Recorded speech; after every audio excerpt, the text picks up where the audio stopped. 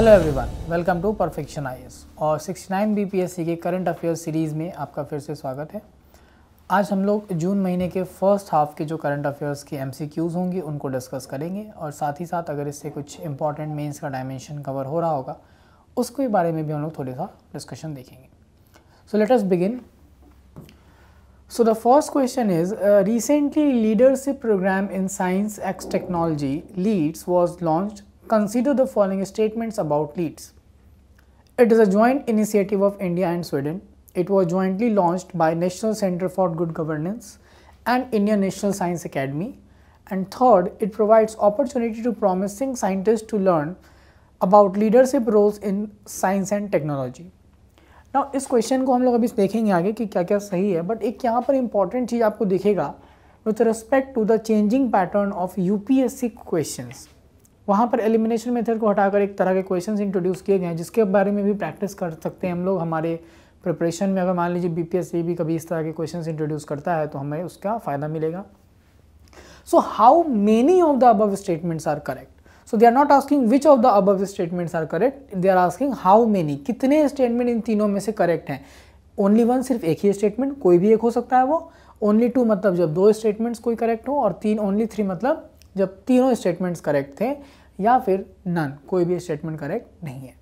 सो so, अगर देखेंगे so this national centre for good governance that is N C G G and the Indian National Science Academy INSA they have launch the leadership programme in science and technology known as LEADS and it aims to work with and motivate scientist and nurture a collaborative environment with R and institution to drive their contribution toward building a prosperous India and India and Sweden launch the lead I T summit which is initiative focuses on low carbon transition of the hard to abate industrial sector. ठीक है? तो इसलिए ये वाले questions में आपको समझ में आएगा कि ये हमारा जो लीडेक्स की बात हम लोग करते हैं तो ये national centre for good governance और इंडियन नेशनल साइंस एकेडमी का है। वो इनसा है।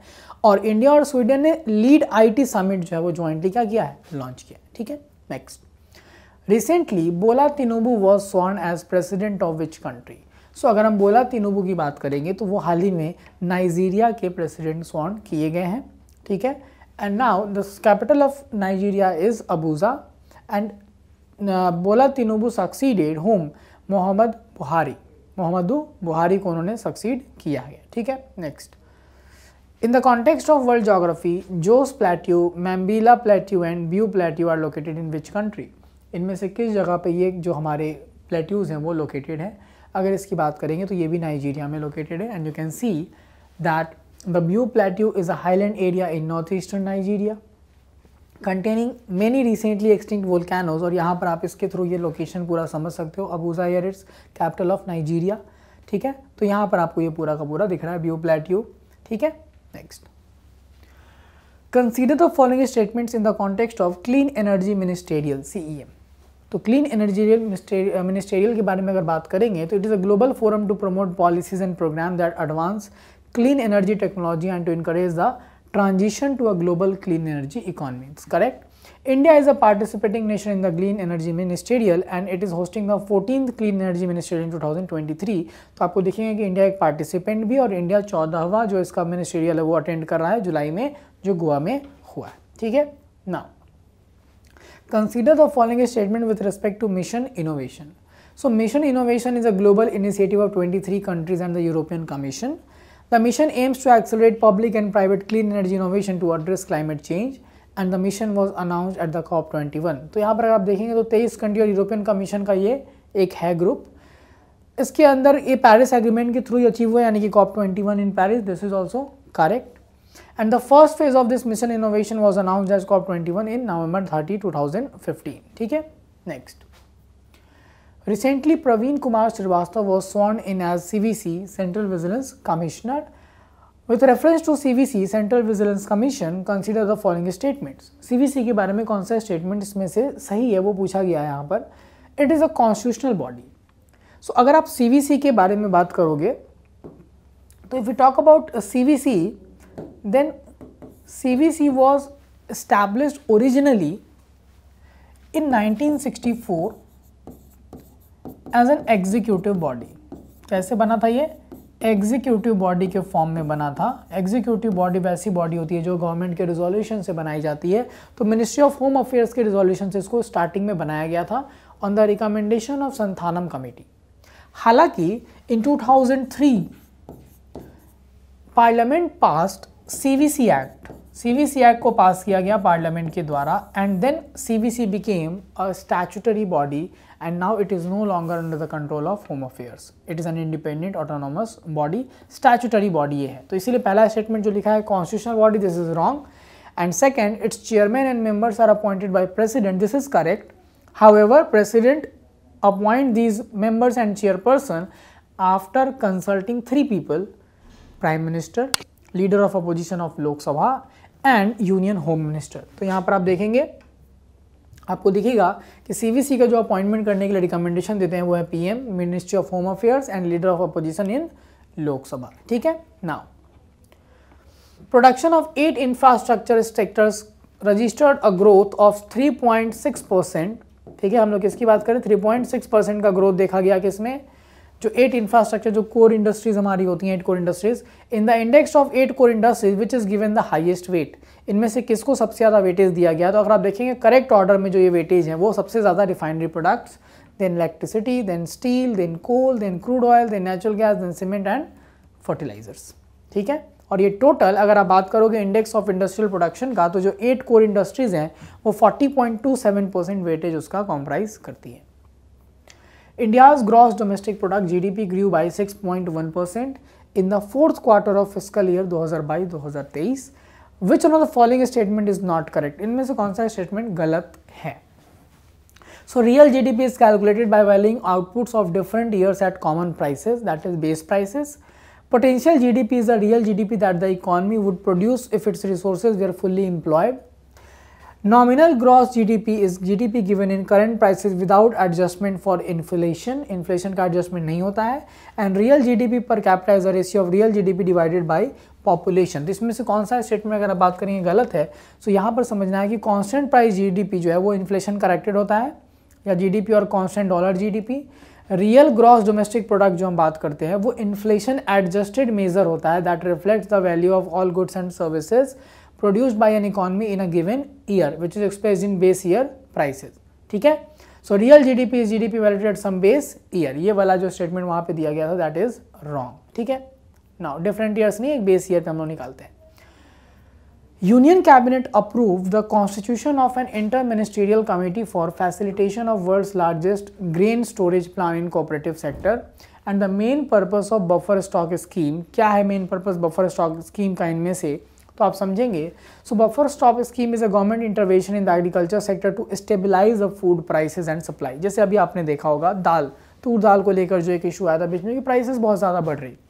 तो जब ऐसा कुछ टाइम आता है तो प्राइस स्टेबलाइजेशन के लिए गवर्नमेंट जो बफर स्टॉक रखती है, उसको फिर वो मार्केट में रिलीज़ करती है ताकि प्राइसेस के दाम दाम जो है प्रोडक्ट से वो सबसाइड हो जाए। Next Union government approved the world's largest grain storage plant in cooperative sector. Which of the following schemes have been identified for convergence under the plan?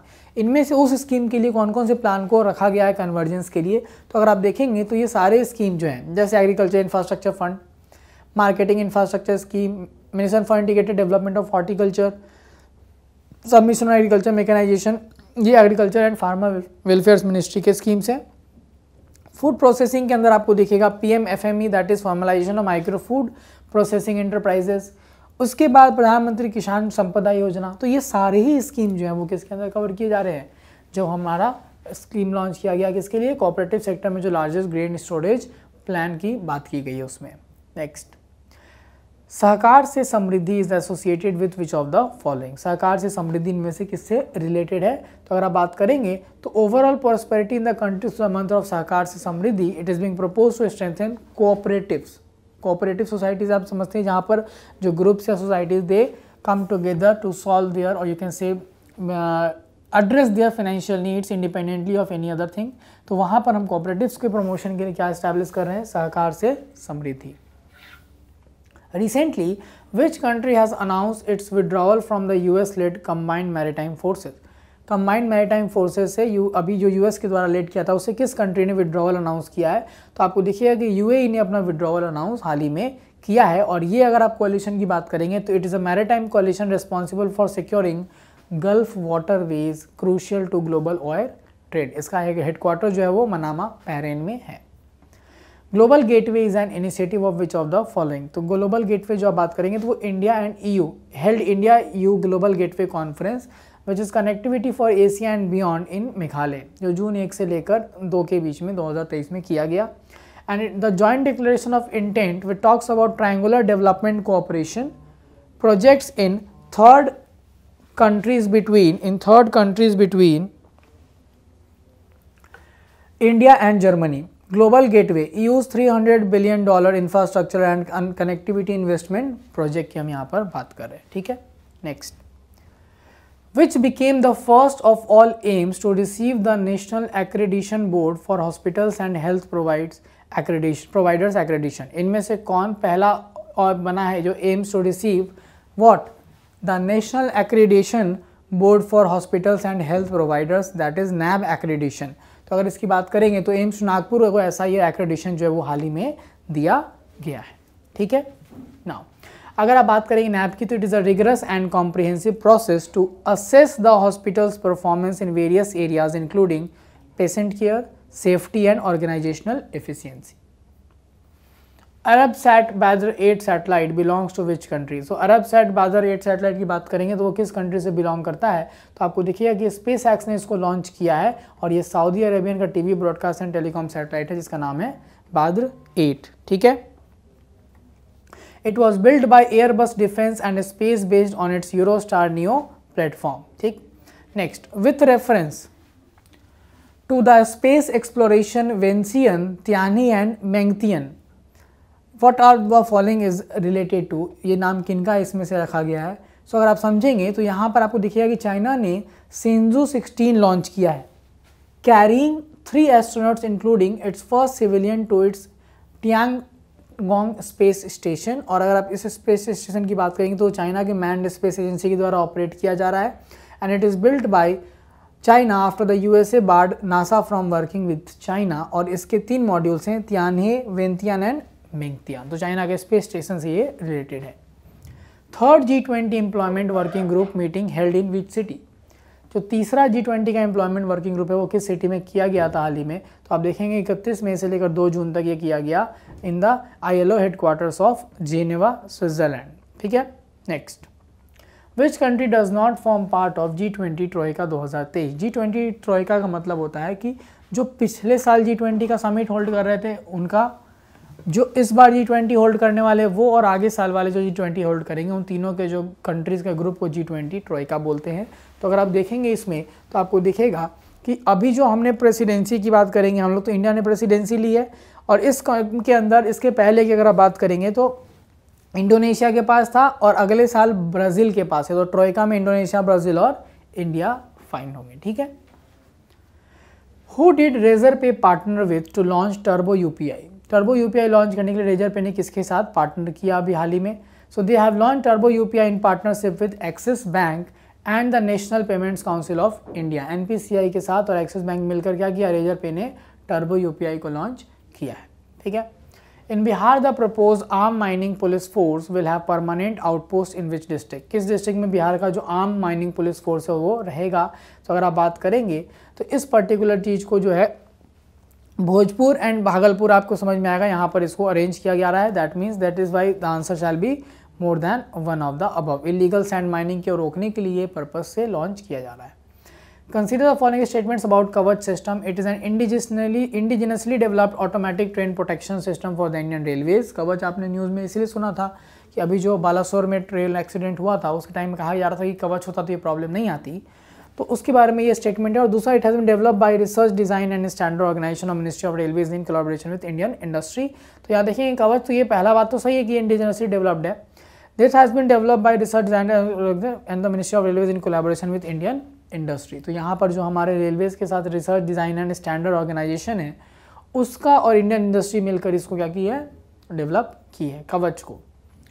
With reference to Bharat Gaurav train scheme consider the following statements It allows only private players to operate trains on theme-based circuits.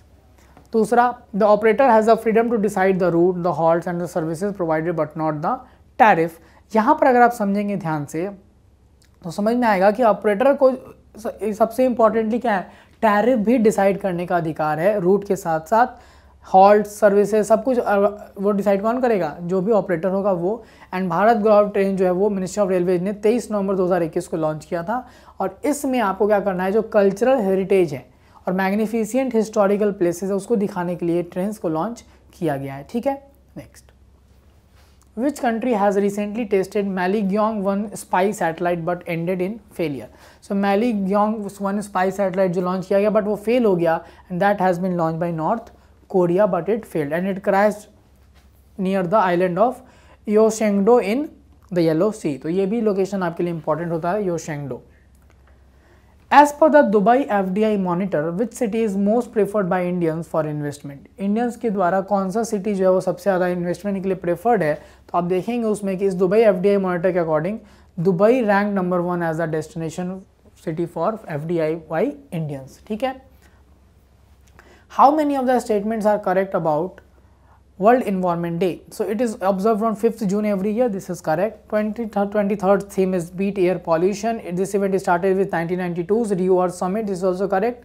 And United Nation environment programme is the nodal body for this event तो यहाँ पर आप समझेंगे इस बार का theme था solution to plastic pollution ठीक है and this particular programme is launch by United Nation environment programme के द्वारा इसको गवर्न किया जाता है next who has been appointed as the first female secretary general of world meteorological organization wmo जो है उसका पहला फीमेल जो सेक्रेटरी जनरल है वो किसको अपॉइंट किया गया है so Celeste Saulo has been appointed and she would assume office on January first 2024 and she is currently the first vice president of W और यही सेक्रेटरी जनरल जो है वो WMO के बारे में बनेंगी who has been elected as a new president of 78th UN General Assembly. So UN General Assembly के नए प्रेसिडेंट 78th कौन बने हैं तो अगर आप बात करेंगे, इसमें तो डेनिस फ्रैंकिस को इलेक्ट किया गया है, वो republic of Trinidad and Tobago से है।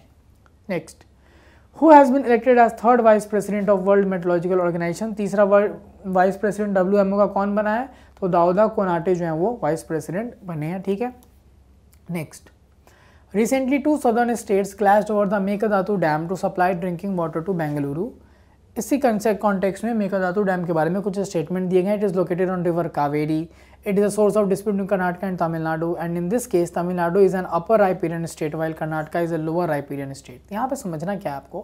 कि कर्नाटका तमिलनाडु में एक क्लास हुआ मेकदातु प्रोजेक्ट के ऊपर मेकदातु प्रोजेक्ट जो है वो कावेरी रिवर के ऊपर बनाया गया है, और कर्नाटका ने इसके ऊपर ये डैम बनाने के लिए कहा था।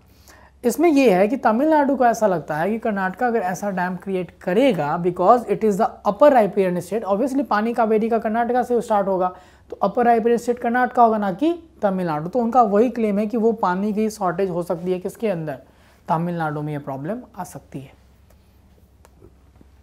कंसिडर फॉलोइंग सिस्टम और inter state water dispute so water is a state subject this is correct article 262 provides for adjudication of interstate water dispute, yes. It empowers Parliament to establish tribunal for the resolution of the disputes.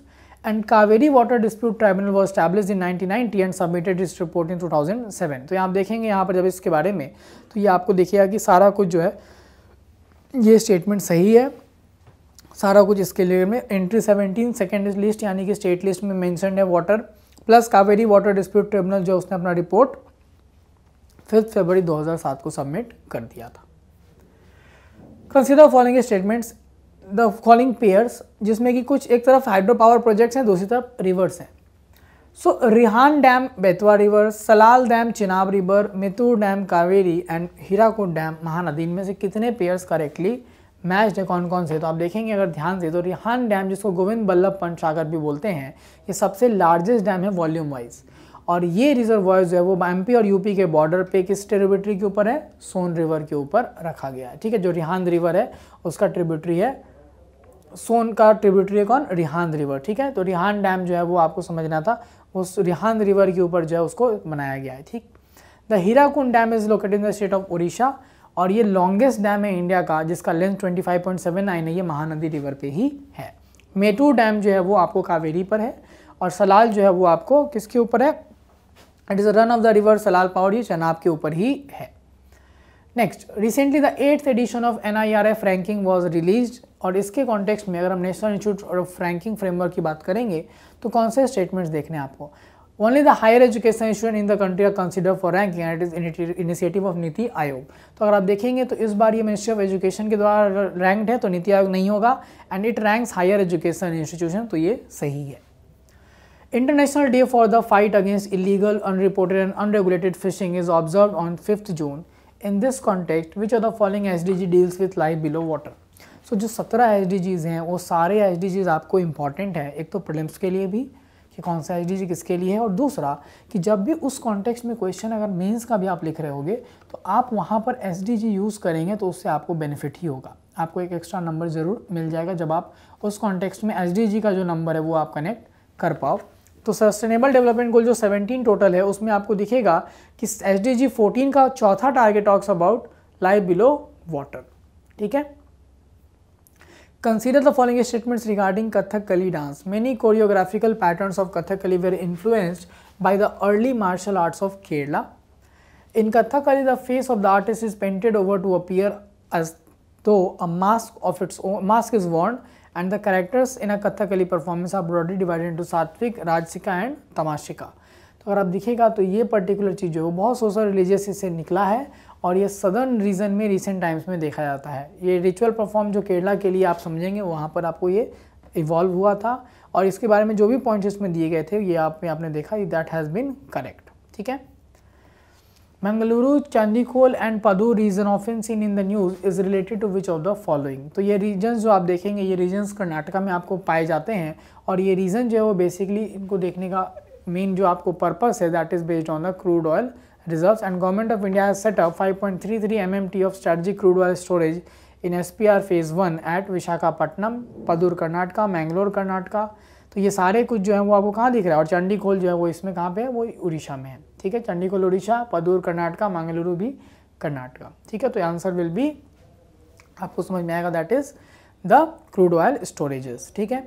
Next Consider the following statements. Strategic petroleum reserves are stockpiles of crude oil maintained by countries or private industry which are meant to tackle emergency situation to counter short-term supply disruption or and the strategic crude oil storage facility in India is managed by Hindustan Petroleum Corporation Limited. तो अगर आप देखेंगे तो हमारे देश में अगर आप बात करेंगे तो वो Indian strategic petroleum reserves limited के द्वारा मैनेज होता है ना कि एच के द्वारा इसलिए गलत है Recently, Karnataka High Court gave a judgment on necrophilia. The word necrophilia means so necrophilia is something which is like developing a compassion or you can say uh, affection or fascination with dead bodies. तो dead bodies के साथ अगर कोई ऐसा कुछ offence किया था उसको लेकर कर्नाटका हाई कोर्ट ने जजमेंट दिया है कि उनके साथ अगर सेक्सुअल इंटरकोर्स हो रहा है then that will not attract offense of rape but that shall be punishable as well now kosovo serbia tensions flared up again which of the following statement is true about the balkan region तो balkanisation जो USSR के बाद disintegration हुआ था तो उस Balkan reason के ही concept context में समझना है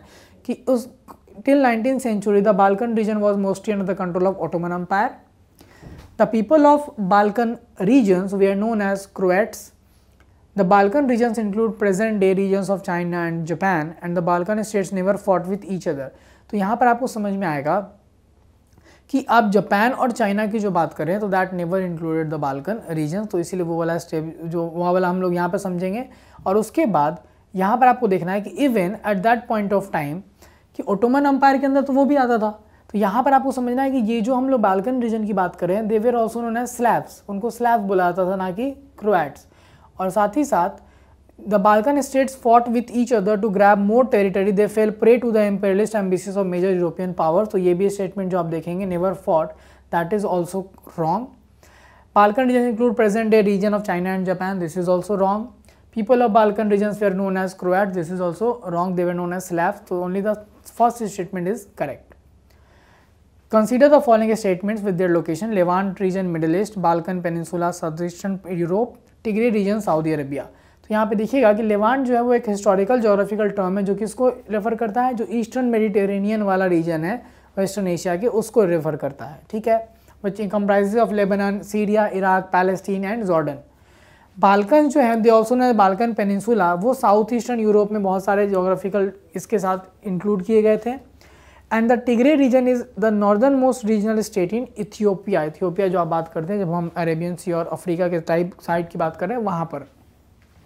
Next what is the Hvaldimir which is suspected of a Russian spy so Hvaldimir जो है वो रशियन स्पाई सस्पेक्टेड था, वो इनमें से क्या है? तो अगर आप बात करेंगे तो it is a beluga whale which was spotted off the Swedish coast ये स्वीडिश कोस्ट में इसको स्पॉट ऑफ़ किया गया था and this name was given by Norwegian जिन्होंने उनको पहली बार देखा। ठीक है? Recently neighbouring countries like Pakistan Nepal and Bangladesh have sought clarification over Akhand Bharat mural in new parliament building in this context who has coined the term Akhand Bharat so Akhand Bharat का term अगर आप बात करेंगे तो ये India में जो mural है, उसको क्वेश्चन किया गया था और हिस्टोरियन जो राधा कोमुद है, मुखर्जी, उन्होंने फ़र्स्ट टाइम इस आइडिया को रखा था दैट वॉज़ नोन एज अखंड भारत तो पाकि नया पार्लियामेंट में जो उसका म्यूराल है, उसको लेकर ये क्वेश्चन जो है, वो पूछा गया था। Now recently the Kakhovka dam is was seen in news and it is located in which of the following country तो आपको दिखेगा कि एक सोवियत एरा का काकोवा डैम जो है वो धिनप्रो रिवर जो सदर्न यूक्रेन में था, वो ब्रीच किया गया and it was built in 1956 as part of the Kakhovka Kakhovka hydro electric power plant ठीक है? Consider following statements about Helmand River. It rises in the Hindu Kush mountain range. It is a source of conflict between Afghanistan and Pakistan. It is an inland river. कितने statement इनमें से सही हैं तो जो अफ़गानिस्तान का ये लॉन्गेस्ट रिवर है पहला तो दूसरा, इसका origin western Hindu Kush mountain में हो रहा है काबुल के पास इसको लेक हमून में एम्प्टी होता है, जो कि अफ़गानिस्तान और ईरान के बॉर्डर पे है पाकिस्तान के नहीं एंड ईरान एंड अफ़गानिस्तान और long in a long standing dispute over this particular to this particular river Hamun Lake is shared between which two countries? Again, that same question. It is there between Iran and Afghanistan. आपको यहाँ पे दिख रहा होगा Hamun Lake. This is the location. Which of the following is are the aims of Digital India Plan of Government of India? Formation of India's own internet companies like China did, establishing a policy framework to encourage overseas multilateral cooperation that collect big data, to build their large data centers, connect many of our villages to the internet and bring Wi-Fi to many of our schools. So these statements are correct. Specially जो हमारा purpose यहाँ पे समझेंगे आप digital India का, वो village area school हर जगह पे अच्छा इंटरनेट कनेक्शन प्रोवाइड कराना, ये सारे हमारे जो है वहाँ पर काम करते हैं और ये नाइन पिलर्स पे काम करता है। Broadband highways universal access to mobile connectivity public internet access e governance then e Kranti that electronic delivery of services information for all electronic manufacturing I for jobs and early harvest programmes ये सारा कुछ इसमें cover होता है। ठीक है? Next Consider the following statements. Smart card is a plastic card with an embedded microchip. Digital technology is primarily used with new physical communication mediums such as satellite and fiber optics transmission and digital library is a collection of documents in an organized electronic form available on the internet only. ये वाला part अगर आप यहाँ पे समझेंगे so not all electric content is in digital data format ये hybrid library के concept में भी काम कर सकता है तो on this statement is wrong next recently mission on Advanced and high impact research Mahir was launched. In this context, which of the following statement is correct? It aims to identify emerging technologies in the power sector and develop them indigenously for deployment within and outside India. दूसरा, it was launched by Ministry of Power only. And तीसरा, it has identified eight areas for research. अगर इस पर हम लोग बात करेंगे तो ये लॉन्च किया गया था पावर और न्यू एंड रिन्यूएबल एनर्जी दोनों के द्वारा इसको इमर्जिंग टेक्नोलॉजी ऑर्गेनाइज करने के लिए रखा गया है और अगर बात करेंगे तो इसमें आठ एरियाज़ को आइडेंटिफाई किया गया है for research next Lisbon declaration is related to which of the following तो अगर आप बात करेंगे तो अभी जून आठ को वर्ल्ड ओशियन डे सेलिब्रेट किया गया। इस बार का जो थीम था वो था planet ocean tides are changing and the Lisbon declaration our ocean our future our responsibility called on governments to do more to prevent reduce and eliminate marine plastic litter तो single use plastic को ban करना, उसी context में ये सारा कुछ आपको समझना है with respect to Lisbon declaration ठीक है? President Droupadi Murmu was conferred with the highest civilian award the grand order of the chain of the yellow star in South American country which of the following is the smallest South American country तो आपको यहाँ पे देखेगा कि Suriname जो वहाँ पर सबसे स्मॉलेस्ट साउथर्न अमेरिकन कंट्री है, उसका कैपिटल पैरामीडोबियो है और इसका लोकेशन जो है नॉर्थ ईस्टर्न कोस्ट पे साउथ अमेरिका के, और इसमें जो ये स्मॉलेस्ट सॉवरन स्टेट है पूरे साउथ अमेरिका का, ठीक है? Last question is recently cyclone name Biparjoy was developed in the Arabian sea it was named by which country तो बिपार जो है जो अभी रिसेंटली साइक्लोन न्यूज़ में भी रहा था, ये किसके द्वारा नाम दिया गया है? तो अगर आपको दिखेगा कि बिपार जॉय जो है वो अरेबियन सी में डेवलप तो हुआ, इसका नाम जो है वो बांग्लादेश ने दिया था। द वर्ड मीन्स डिज़ास्टर और कैलमिटी इन बंगाली ठीक है तो इस वाले पर्टिकुलर सीरीज़ में I have tried to introduce those type of question the language of the question which are more or less you can see coming up in the UPSC examination or you can see uh, the statement based question because we have seen the BPSC has also been transforming itself towards a state statement based question. So considering that I thought I, that I should cover the first half of June through various statement based question. तो मैंने वैसे question को ज़्यादा pick किया है आपको इनमें से स्टेटमेंट्स को एलिमिनेट करना भी आना चाहिए। और अगर मान लीजिए हाउ मेनी वाले क्वेश्चन आते हैं तो वहाँ पर आपको ये भी समझ में आना चाहिए कि आपको हर एक स्टेटमेंट पता होना ज़रूरी है। तो मैगजीन से जब आप करंट अफेयर्स पढ़ रहे हो, आपको स्टेटमेंट्स को अच्छे से हाईलाइट करके उसको पकड़ना ज़रूरी होगा, ठीक है? नेक्स्ट लेक्चर में हम लोग संडे नेक्स्ट संडे को हम लोग मिलेंगे जून के सेकेंड हाफ़ के लेक्चर के साथ। तब तक के लिए थैंक यू सो मच